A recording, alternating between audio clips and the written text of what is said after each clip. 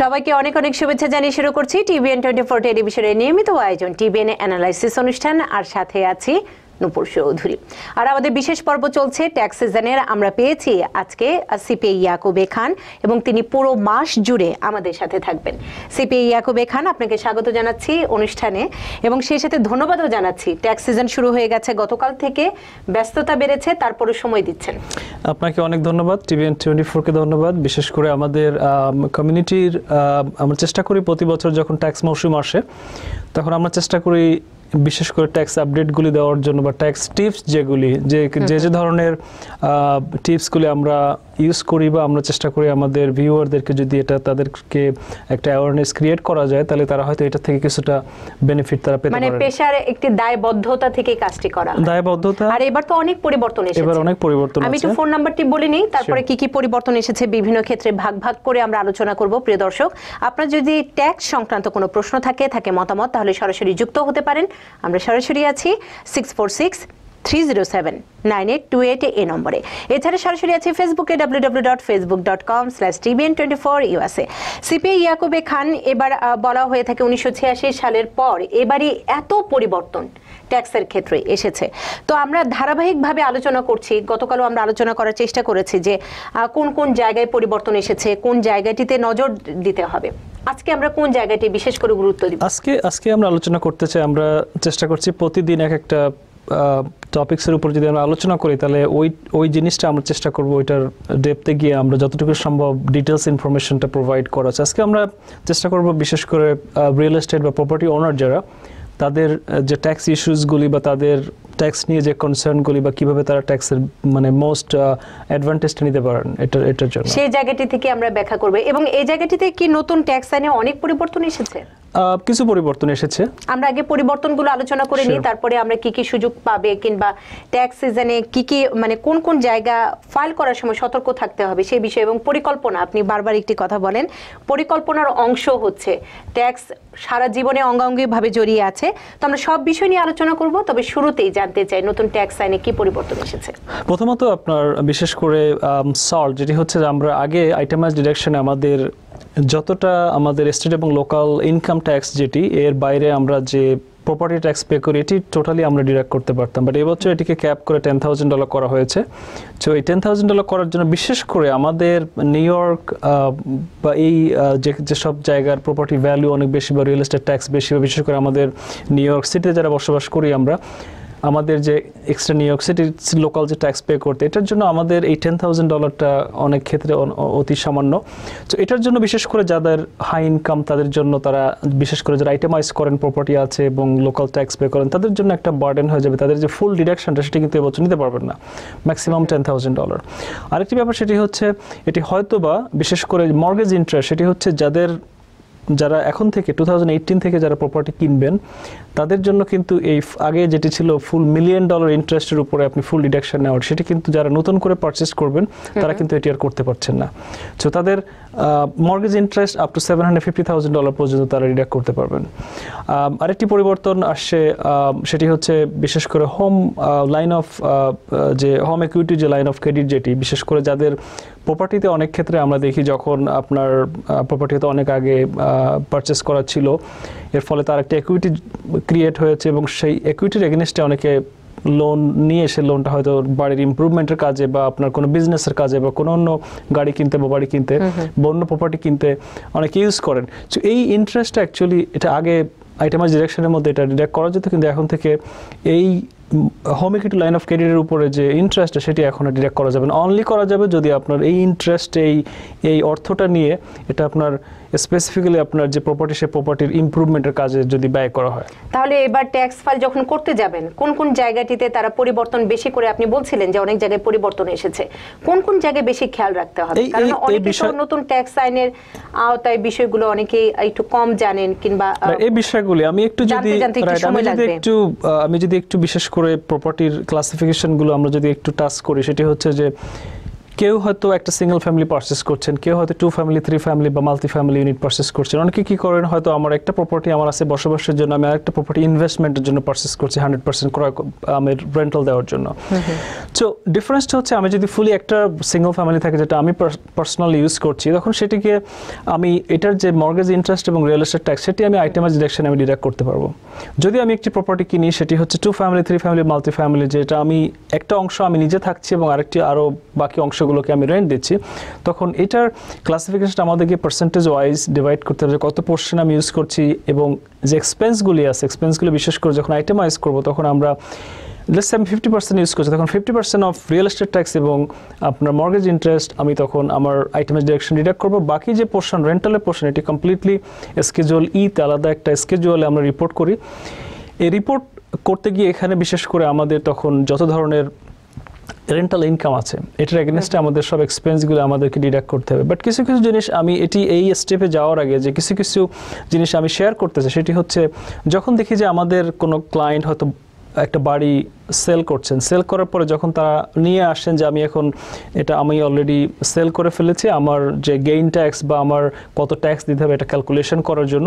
তো যে বিষয়গুলি আমরা দেখি বিশেষ করে এই হোম অনারদের যে মিসিং সেটি হচ্ছে যে লেটস একটা বাড়ি সে হয়তো five years ten years twenty years আগে সে এটা পারচেস করছেন।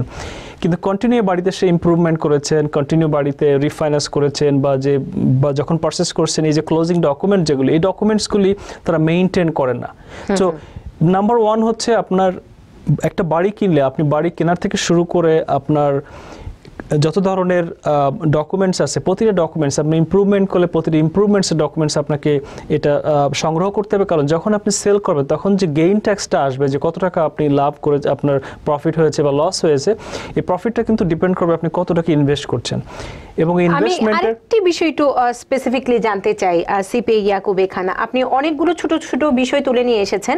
আপনার কাছে জানতে চাই যে যে বিষয়গুলো তুলে ধরেছেন ট্যাক্স সিজনের সময় তো সেই পরিকল্পনাটি করার আগে তো অনেক আগে থেকে যখন আমি একটি বাড়ি সেল করব কিংবা আমি একটি বাড়ি ক্রয় করব তখন থেকে তো তখন থেকে রাইট যার জন্য রাইট জিনিসটা আমি এজন্যই আমি শেয়ার করতে চাই যে আমরা যখনই একটা প্রপার্টি কিনি হয়তো অনেকে আমরা যেটি করি না সেটা ডিফারেন্ট জিনিস বাট যখন আমরা কিনতে যাচ্ছি বা অ্যাটলিস্ট আমরা অলরেডি কিনে ফেলেছি বাট এখন আমি আগে জানতাম না বাট এখন যেহেতু জানি তো বিশেষ করে আজকের ভিউয়ার যারা আছেন তারা যদি এখন থেকে প্রতিটা বিশেষ করে এই যে ডকুমেন্টসগুলো বা যে ইমপ্রুভমেন্টগুলো এগুলো আপনাকে রিপোর্ট করতে হবে এগুলো ডকুমেন্টস রাখতে হবে।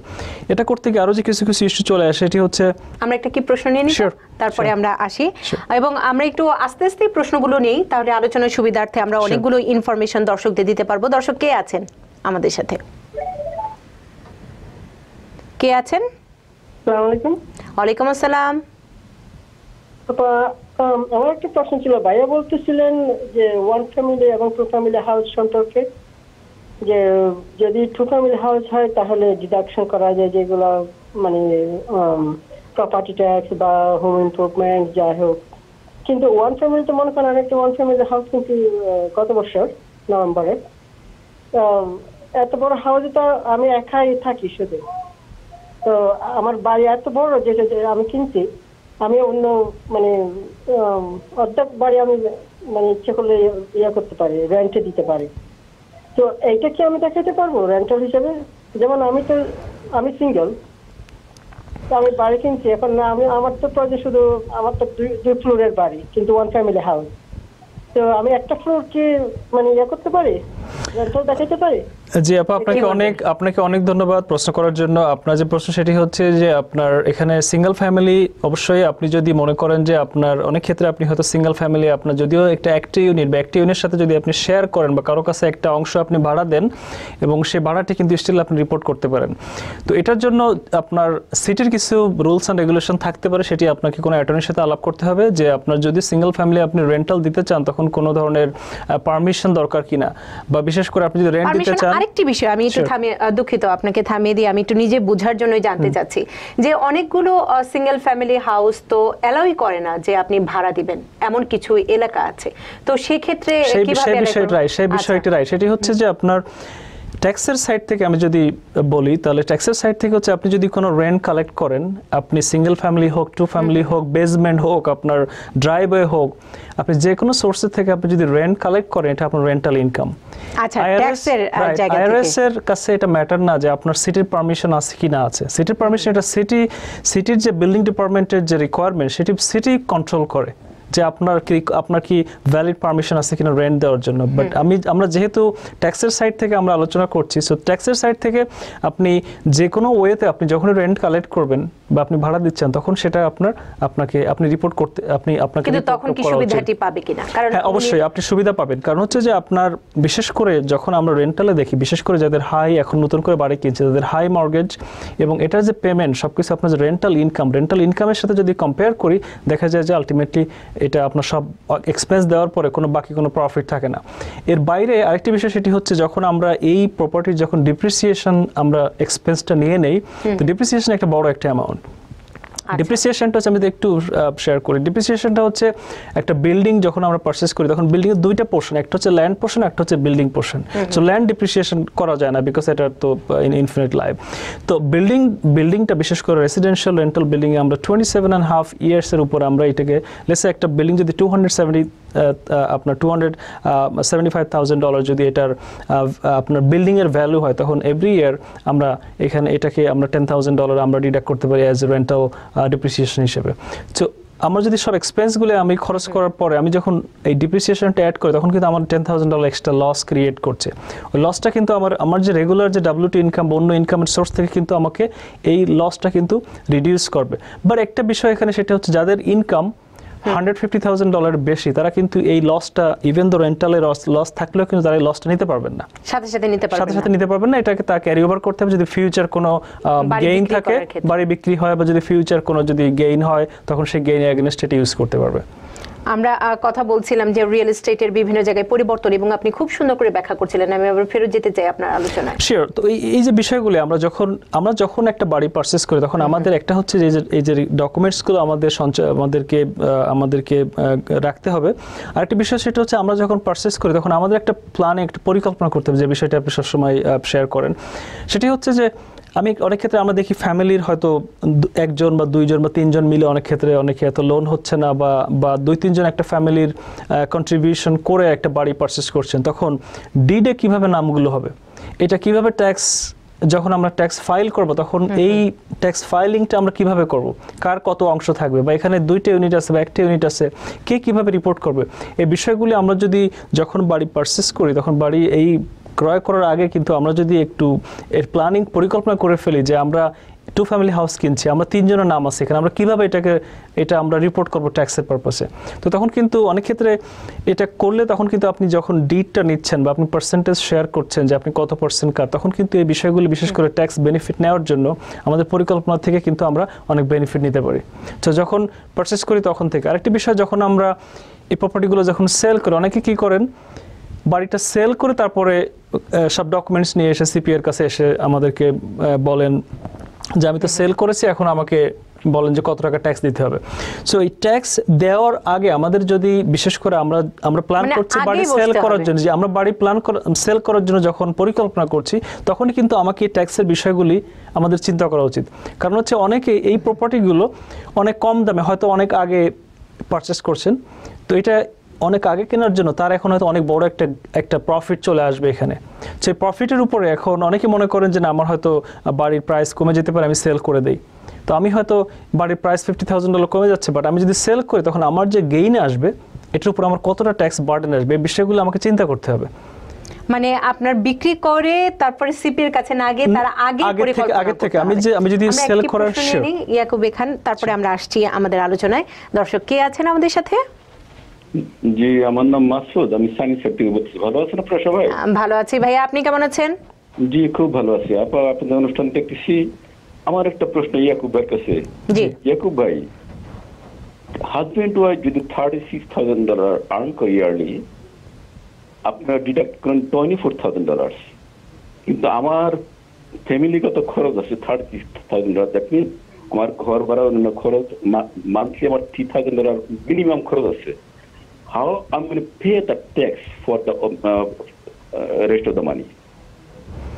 কারণ আমরা আপনার ডিডাক্ট করেন twenty four thousand thousand dollar ঠিক কিনা জি জি আপনার কি কোনো কোনো চাইল্ড আছে। আমি কোথায় আমি কোথায় পাবো বাদ বাকি টাকাটা? আমি আমার থার্টি সিক্স থাউজেন্ড আর্ন করি। থার্টি সিক্স থাউজেন্ড আমি খরচ করি। আমার কাছে কোনো ব্যালেন্স আপনার ফ্যামিলি মেম্বারটা একটু জানতে হবে ভাইয়া। জি।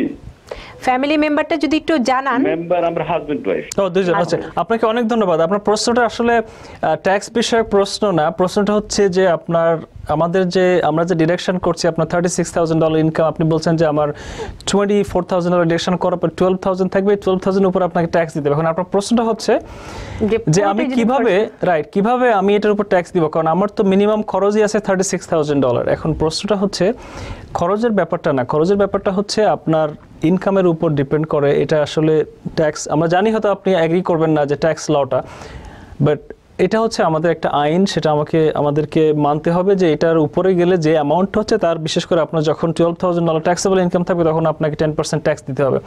এখন খরচটা আপনি আসলে করছেন কেন এখন এইটা যদি হয়, তাহলে চিন্তা করেন যে হয়তো হান্ড্রেড থাউজেন্ড ডলার ইনকাম করছে, সে হয়তো বলবে যে আমার তো আসলে পুরো হান্ড্রেড থাউজেন্ড ডলার খরচ।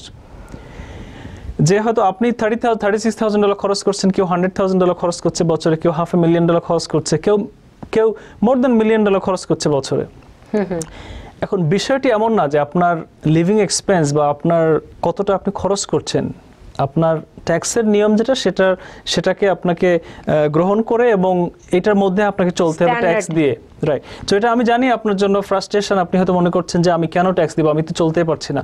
বাট দ্যাটস দ্য ল এখন এটার জন্য আসলে আমাদের আমি জানি না আপনাকে কীভাবে যে কোনো একটি আর্ন করার জন্য কিন্তু অনেক রিসার্চ করা হয়। বিশেষ করে আমেরিকার মতো দেশগুলোতে হয়, এই দেশগুলোতে অনেক রিসার্চ করে এর living, ব্যাপার, করা হয়। করা হয়। করা হয়। আপনি যেমনটি বলছিলেন যে একজনের হয়তো মিলিয়ন ডলারও এক্সপেন্স হ্যাঁ হতে সে পারে। রাইট সে হয়তো মনে করবে যে না আমি মিলিয়ন ডলারই আমার খরচ তাহলে আমি কেন ট্যাক্স দিব? কেন ট্যাক্স হ্যাঁ। দিব? তো সবকিছুরই একটি নিয়ম সবকিছু আছে। ভারসাম্যতা রক্ষা করার জন্য এটা কংগ্রেস এভাবে নিয়মগুলো আপনার এবং প্রতিটি। নাগরিকের সুবিধার জন্য কিন্তু সুবিধার জন্য। আবার কিছু কিছু ধরনের যে বেনিফিট বিশেষ করে যারা আপনার লেসে আপনার যখন thirty six thousand dollar income বা যাদের বাচ্চা আছে তাদের এই যে চাইল্ড ট্যাক্স ক্রেডিট দিচ্ছে earn income low income credit দিচ্ছে।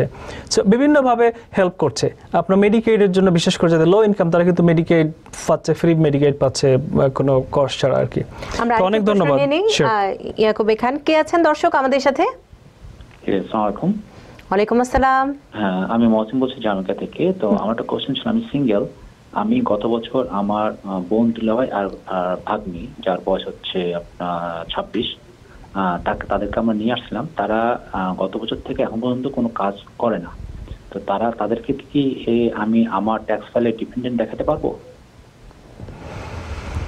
যে ওনারা আপনার লাস্ট? ইয়ারে কখন আসছেন?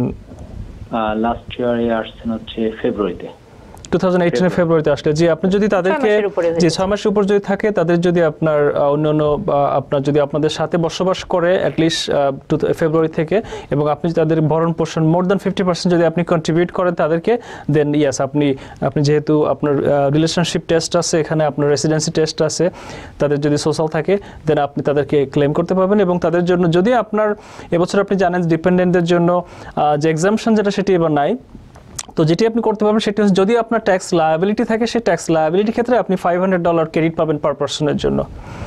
অনেক ধন্যবাদ। বিরতিতে যাব তবে তার আগে আরেকজন দর্শক আছে তাকে বলে রাখতে চাই। দর্শক বিরতির পর আপনার প্রশ্নটি নিব এবং আমরা কথা বলছি নতুন ট্যাক্স আইনে কি কি পরিবর্তন এসেছে এবং সেই পরিবর্তনগুলো ব্যক্তিগত ব্যবসায়িক সামগ্রিকভাবে আমরা বিশ্লেষণ করার চেষ্টা করছি। তবে এখন সময় হয়েছে ছোট্ট একটি বিরতি নিবার সাথেই থাকুন।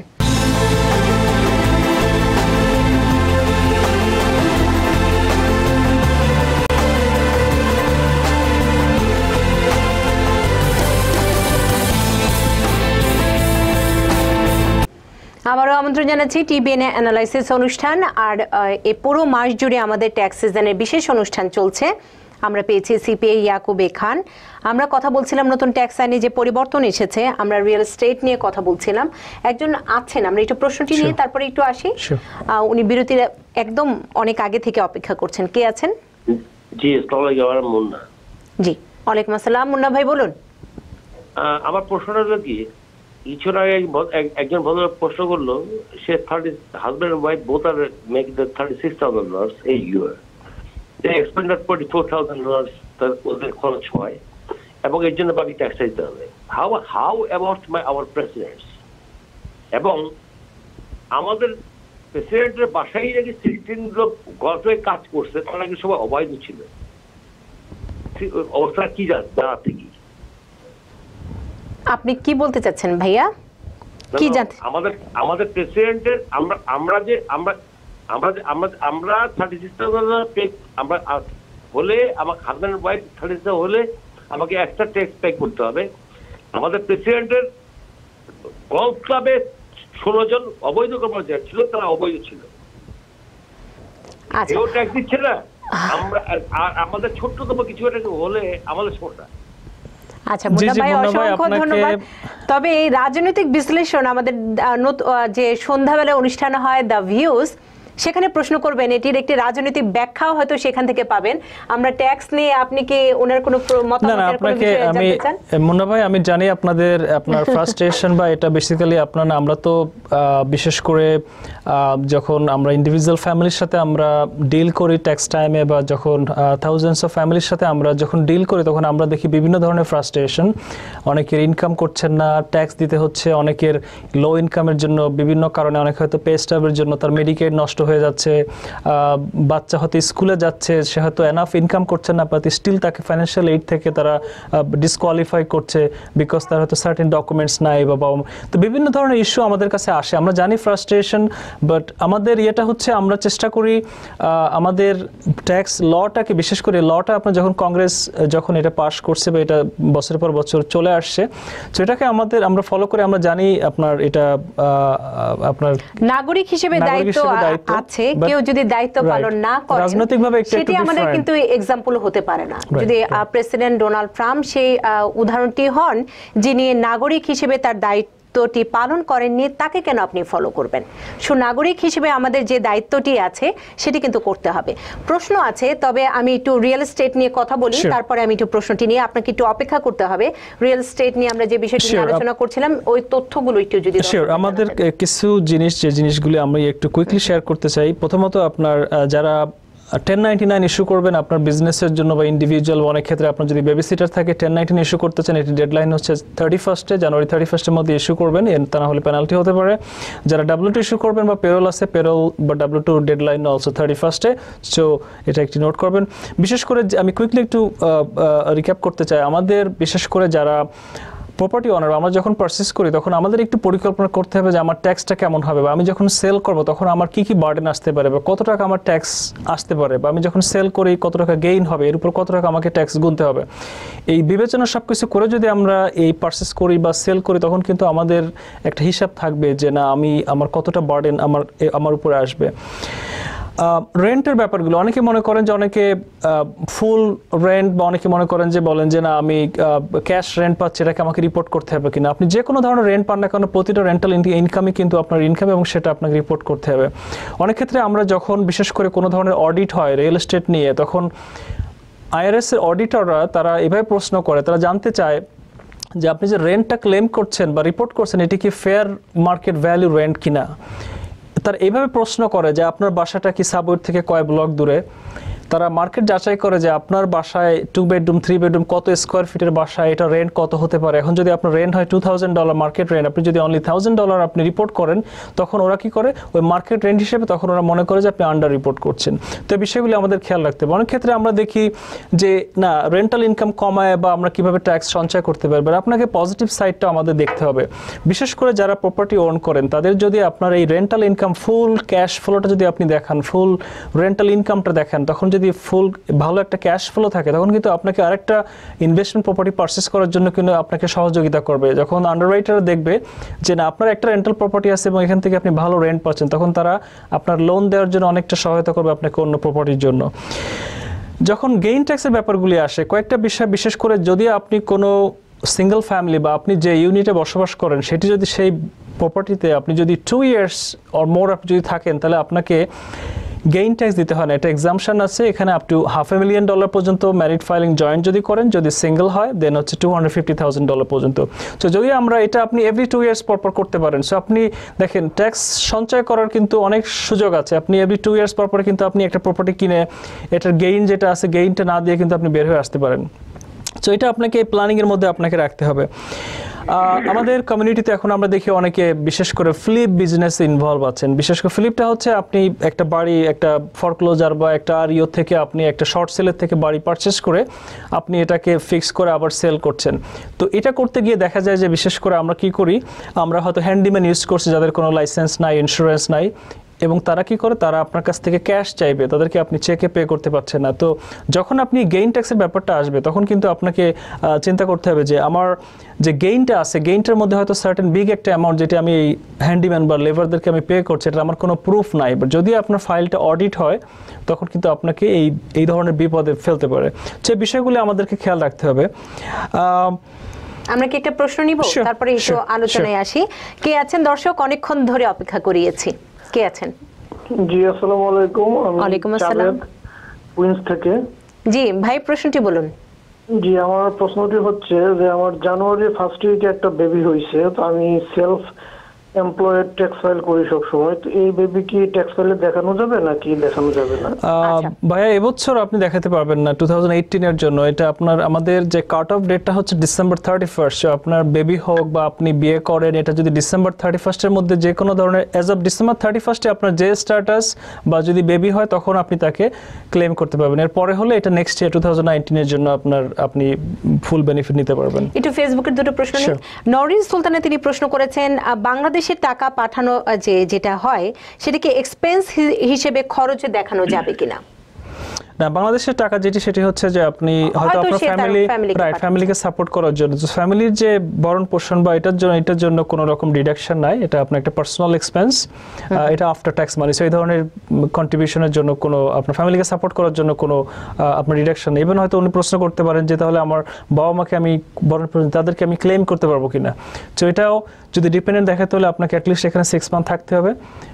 ইউএস এর মধ্যে এবং তাদের সোশ্যাল থাকতে হবে। সো এটাও এটাও যদি তারা ফুলি দেশে থাকে তখন এটা সম্ভব না। আরেকটি প্রশ্ন নিয়ে নিই তারপরে আমরা একটু উপসংহার টানতে হবে। কে আছেন? দর্শক এটি আমাদের শেষ প্রশ্ন হবে। কে আছেন?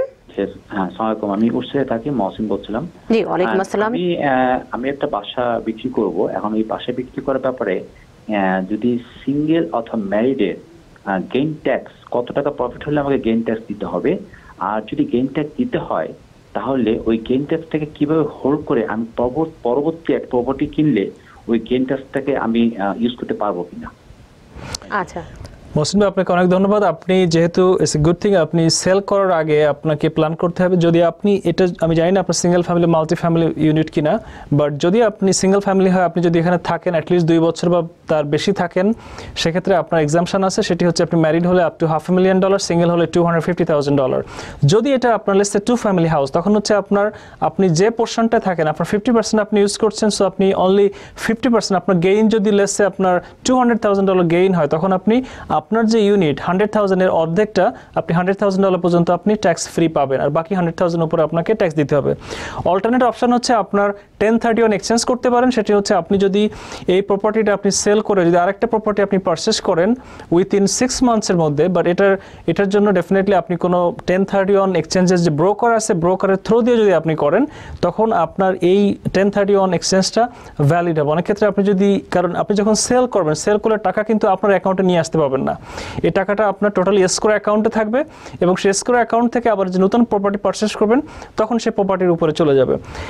এই এক্সচেঞ্জ করার জন্য এটা কিন্তু আপনার ট্যাক্সটা কমপ্লিটলি আপনার অফসেট হয়ে যাচ্ছে। এটা হচ্ছে আপনি শুধু ডিফার করতেছেন। আপনি এখন ট্যাক্সটা দিয়ে আপনি যখন নতুন প্রপার্টি সেল করবেন ফিউচারে গিয়ে, ওই প্রপার্টিটা সেল করে তখন আপনি ট্যাক্সটা পে করবেন।